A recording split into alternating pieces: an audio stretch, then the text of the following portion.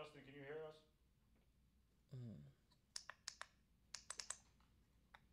Justin, Chris, Chris, say that again. can you hear us? Quietly. Really? Yeah. Can you get, uh, Justin? Just tell him to mic, like, one, count to three. Uno, dos, tres. Ahí, perfecto. That's better. One, two, three. Uno, dos, tres. All right, Mikey, you guys ready? Yep, very good. Okay. Thanks everyone for joining. We'll go ahead and get started um, as we welcome Marcelino to the club. We'll start with a statement from Carlos, and then we'll hop into questions. Today, let's start with uh, questions in English for Marcelino, and then if we have questions, I'll make sure we save time at the end, just so we maximize his time. But with that, we'll go to Carlos. Thanks, everybody, for joining. Um, look, I think from, from our standpoint, we're, we're coming into today with a couple wins and a draw out of our last four matches. Um, we've been eliminating some of the errors that have caused early goals and individual mistakes. Um, we've now had some of our big players starting to perform, and, and um, you start to see the confidence and the belief in the group. And you see something like Rab last night had a fantastic game, um, helps us earn a point. Um, so, you know, we hope this is uh, something that's a turning point for us. And now uh, a much needed offensive spark uh, in the player Marcelino, who we're about to introduce, uh, is going to be very much welcome for us. Um, the group has been doing fantastic. Uh, when we, you know, we moved Pity along, we were always looking to come in and, and have reinforcements, uh, strengthen the team. Marcelino is a player that we have been following for a long time, uh, which I spoke about earlier.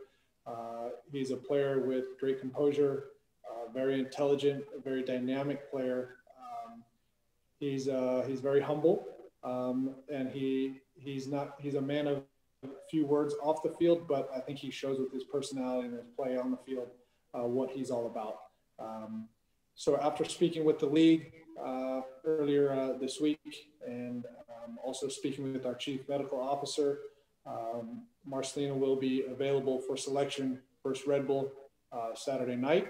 Uh, he would have cleared the, the necessary quarantine and, and, and all that stuff uh, that we had to go through. So we're pleased. Uh, we're pleased to welcome him. And um, Justin, I'll kick it over to you. But uh, Marcelino, welcome uh, to the club. Bienvenido Club Marcelino. Thanks, Carlos. So with that, we'll kick it off with questions in English from Marcelino. Uh, Marcelino, uh, my name is Doug Robertson. I write for the Atlanta Journal Constitution. Um, how do you think you're going to be able to help Atlanta United uh, secure a playoff spot in these remaining games? Marcelino, bienvenido al club. Muchas ¿Cómo crees gracias. que eh, ¿Cómo crees que puedes ayudar al club a conseguir un lugar en los playoffs de temporada? Muchas gracias. Bueno, creo que, que con, con mi velocidad y con mi desequilibrio en tres cuartos para adelante poder tomar buenas decisiones para, para poder asistir a mis compañeros. I think I'll help the team with my speed uh, and my ability in the final third to try and create chances for my teammates.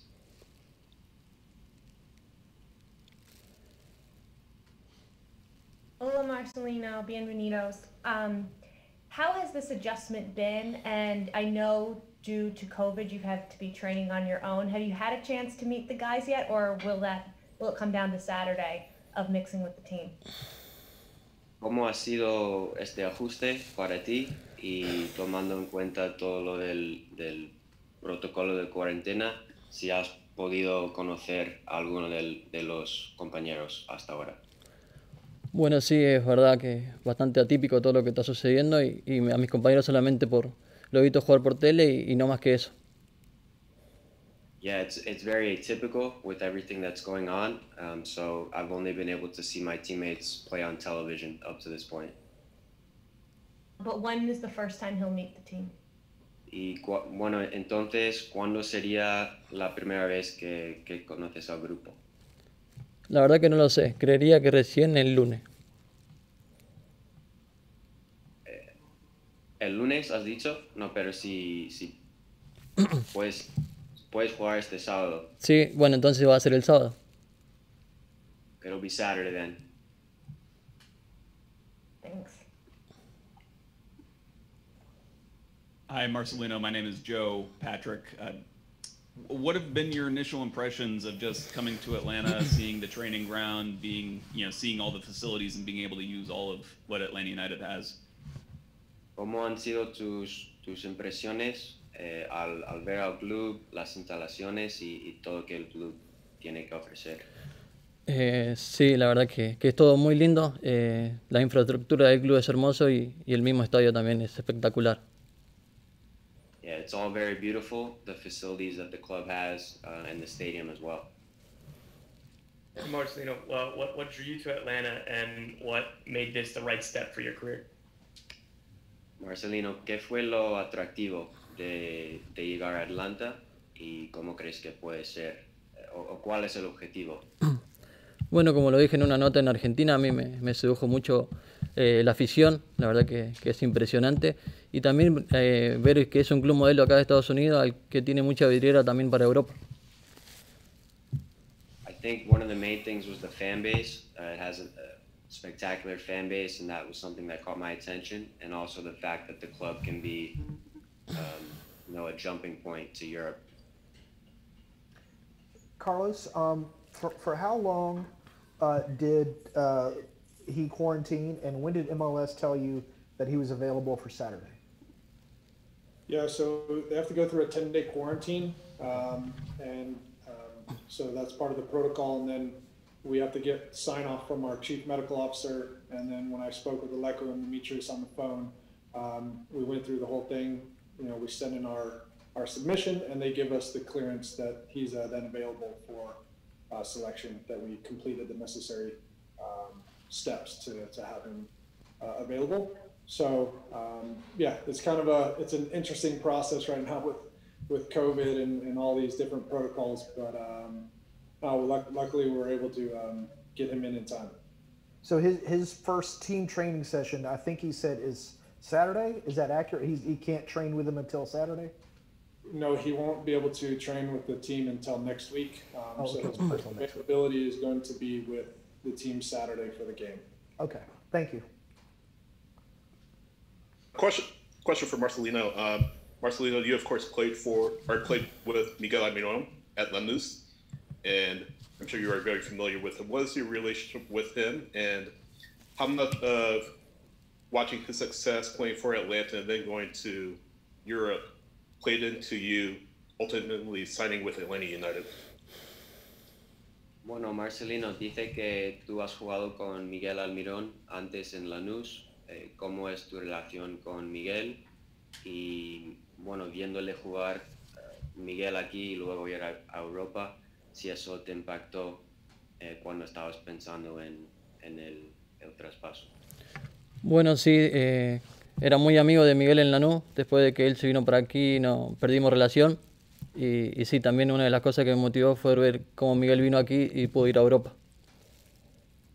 Yeah, I had a very good relationship with Miguel when we were at Lanús, and then later we didn't talk as much when he was here, but I was able to see what he did and see him move on to Europe, and that influenced me.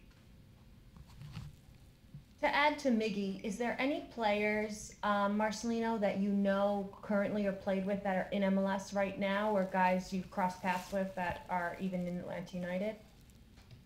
Marcelino, ¿conoces a algunos otros jugadores que ahora están en la MLS con quien, bueno, conoces o, o co- con quien has jugado antes? Eh, bueno, a- acá enfrenté a, a Barcos y a Remedy y también tengo muy buena relación con, con Valery y con Seba Blanco que estuvieron en el Club Lanús. So I played against Barco and Eric Hermeti before, and I also have a good relationship with Valeri and Sebastian Blanco, Okay, uh, who, who were also at Lanús. Gracias. Hey Marcelino, my name is Kevin. I- I'm curious to know a little bit about your game when you were younger. Did you play in a different position at all, or was it always as an attacking midfielder? And then, who were some of your um, your stars as a kid that you looked up to in Argentina? Some of the big influences on your career. Cuando eras más joven y hasta este momento en tu carrera, em, ¿has jugado otras posiciones? Y la segunda pregunta es, ¿quiénes quizás fueron tus ídolos argentinos? como jugadores. Bueno, te, te respondo la segunda primero. Mi ídolo es eh, Riquelme. Y repetime la primera. Eh, la primera es si, si antes en tu carrera has jugado en, en otras posiciones o en, en qué posiciones has jugado. Está bien, sí puedo jugar tanto de interno por izquierda como por derecha y también lo puedo hacer de extremo por izquierda. So my idol is Riquelme, and in terms of positions, I can play um, inside on the right or on the left as an interior midfielder, and I'm also comfortable on the left wing.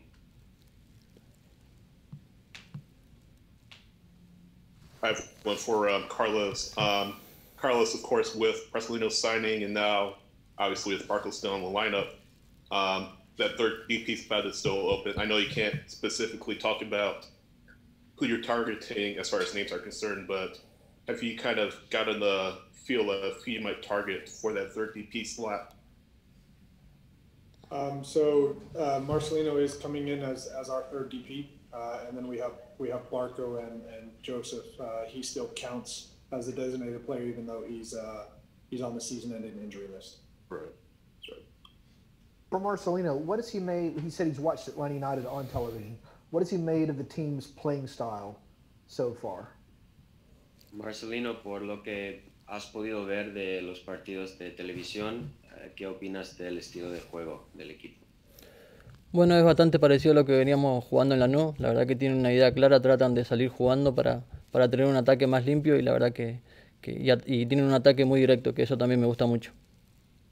It's similar to the style that we played at Lanús, uh, which I think it uh, they have a very clear style. They want to try and build out of the back and also to be direct, uh, which I think is is good.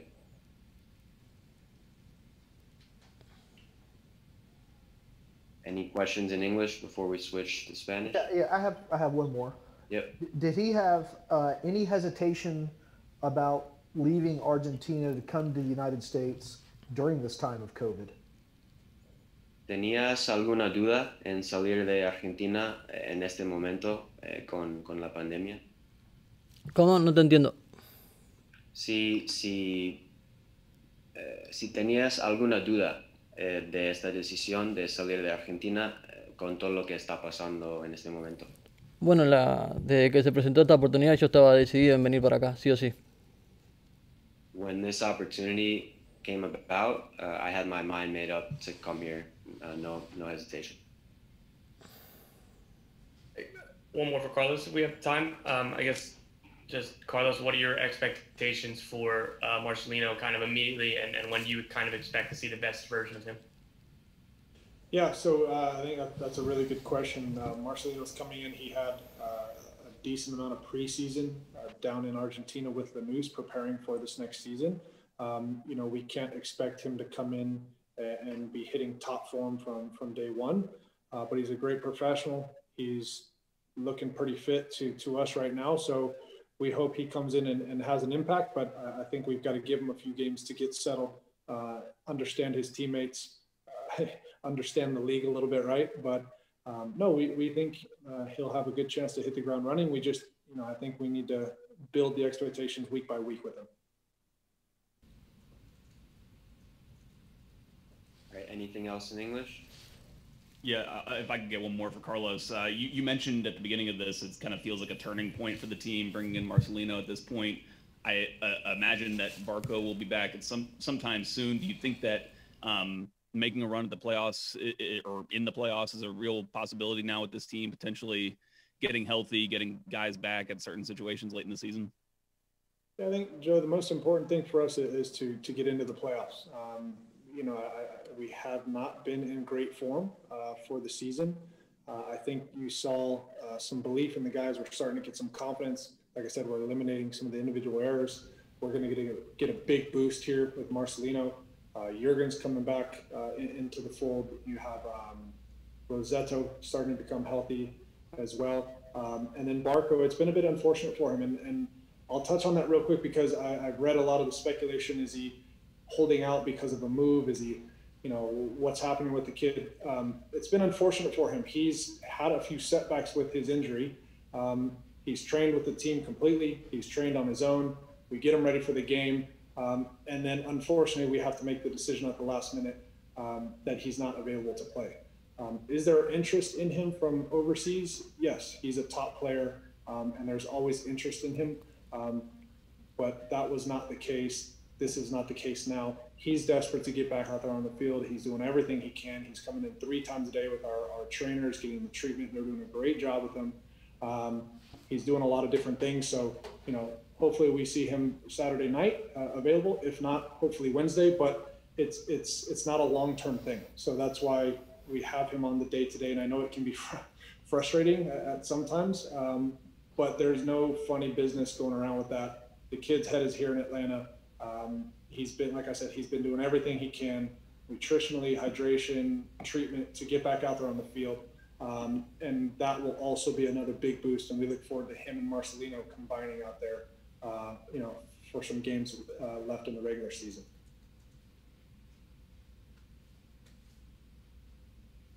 Okay, with that, we'll open it up to Spanish questions. Marcelino, ahora vamos a tomar preguntas en español. ¿Vale? Marcelino, bienvenido. Eric Alexander de Siempre United. Eh, Atlanta es conocido por buscar jugadores en Sudamérica. Tenemos historial con Barco, Villalba, Leandro González Pires. ¿Qué se dice de Atlanta United en Argentina y en Sudamérica? Que influye tanto para que los jugadores decidan venir acá. Bueno, yo lo primero que, tomé en cuenta fue que, que estuvo Miguel y, y bueno, viendo lo bien que le fue a Miguel acá, eso también me ayudó a tomar esta decisión. Y también es porque consideramos que Atlanta United es uno de los clubes más grandes de Estados Unidos, en Sudamérica.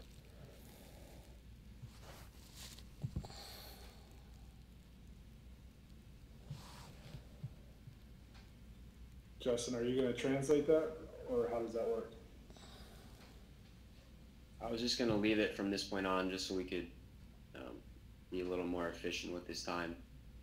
But if, if we don't have any other questions in Spanish, then we can, can go back to English questions.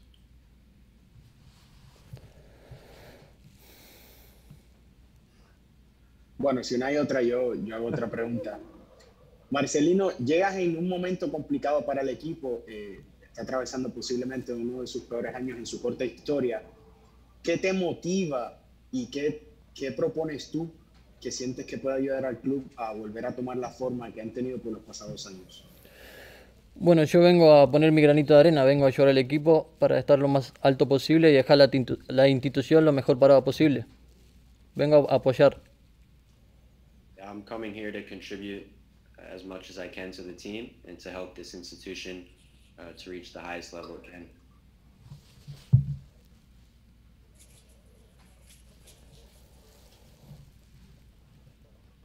Uh, y- y- if no one else is going to ask it, is Go ahead. Yeah, we'll, we'll just open it back up. Okay. Can, can he, uh, Marcelino, talk about? Uh, I think I read that he bought his parents a house and that he's donated money uh, to his former academy. Just why those things were important for him to do.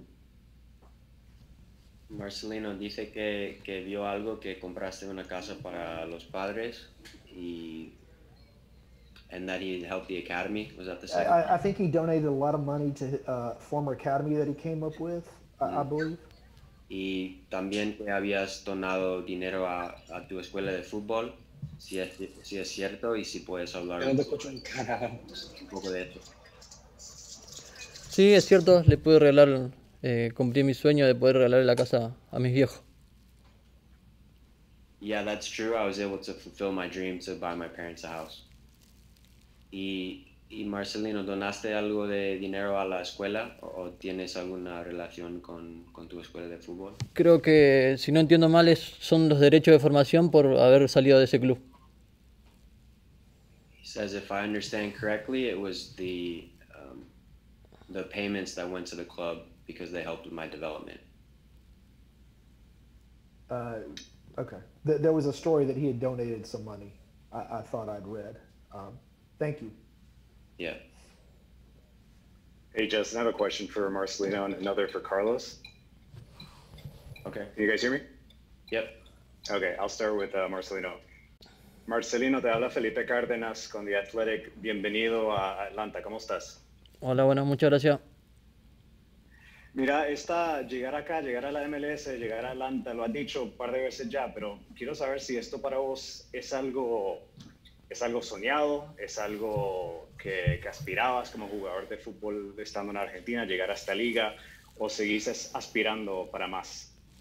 Bueno, sí, es que en el último tiempo esta liga se ha vuelto muy popular y creo que anhelaba venir acá y creo que dentro de unos años eh, la MLS va a ser una de las potencias mundiales del fútbol.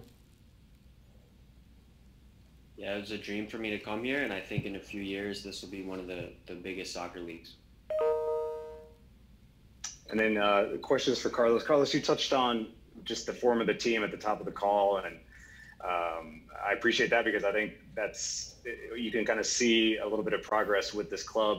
Going back to what you talked to us about, about a couple weeks ago, just about accountability and, and kind of pointing the finger at you, something that you said. How, could you expand on that? Like, do you considering obviously with the caveat that Joseph is injured and that that really affected the team, are you are you pleased with the way the roster has turned out after the offseason moves? Are you are you happy with where this roster is currently? I think so. Look, uh, Felipe, I think we're going to have to look at, at, the end of the year and see where we end up, right? We've had quite a few injuries. Uh, we have not been able to have partnerships around the field for more than a couple games at a time, so we've had to chop and change. Um, but, you know, the biggest thing for me is you see uh, the guys are responding. Um, we're having to play a tad bit different uh, than, than, we played earlier in the year. Um, as you saw last night, we're not necessarily high pressing the entire game. Um, so we've had to alter for, for personnel, um, which is okay. Um, at the moment, we need to get wins. We need to be effective. And, um, yes, have that accountability. And like I said, that's myself included. Uh, the players on the field, they've stepped up. They've responded very well. Glassy and the staff are, have continued to work hard uh, throughout this.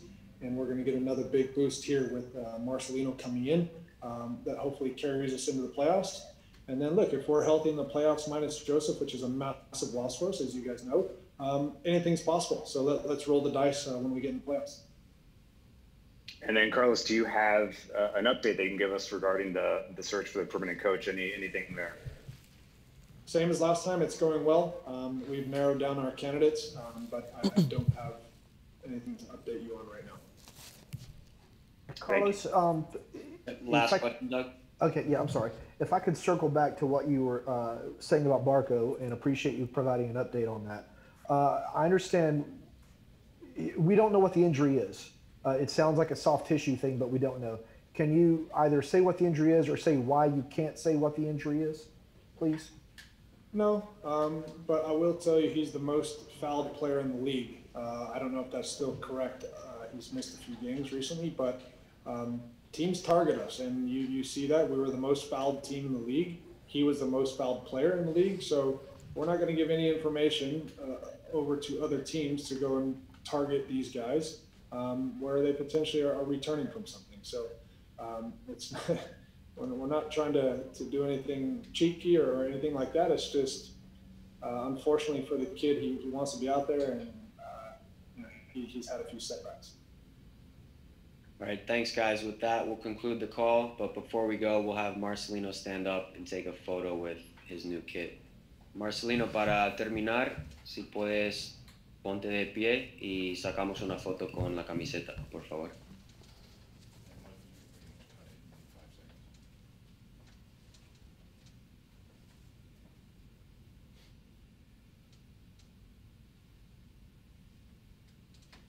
Okay, good. Thank you. Hey, Justin, is that going to be put on the MLS photo site thing? Imagine.